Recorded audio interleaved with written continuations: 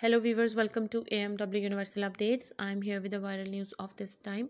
An investigation has begun into how images and videos of University of Wisconsin women's volleyball players intended to be private were shared online. The school announced Wednesday evening one photo showed players posing and appear to have been taken after the team clinched the Big Ten title in November. A statement from the Wisconsin Athletes Department offered no details other than to say university police were investigating multiple crimes, including sharing sensitive photos without consent.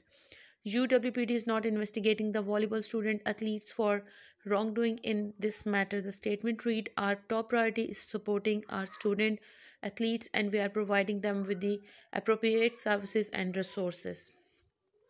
Players contacted university police when they became aware that the material had been distributed and most of it has been removed from website where it was posted. So this is the update. Keep connected with AMW Universal Updates. Don't forget to subscribe my channel for latest updates. Thanks for watching.